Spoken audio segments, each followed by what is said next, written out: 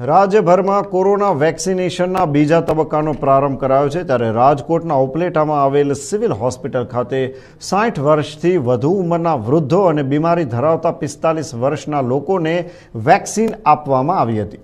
તો વેક્સિન લેવા વહેલી સવારથી જ લોકોની ભીડ જામી હતી. રસીકરણ માટે વૃદ્ધોમાં ઉત્સાહ જોવા મળ્યો હતો ત્યારે સવારથી જ નોંધણી પ્રક્રિયાની વેબસાઇટ બંધ હોવાના કારણે લોકોને ભારે હાલાકીનો સામનો કરવો પડ્યો. સરકારે અથાગ પ્રયત્નો કરી અને આ વેક્સિનનું સંશોધન કરેલ છે.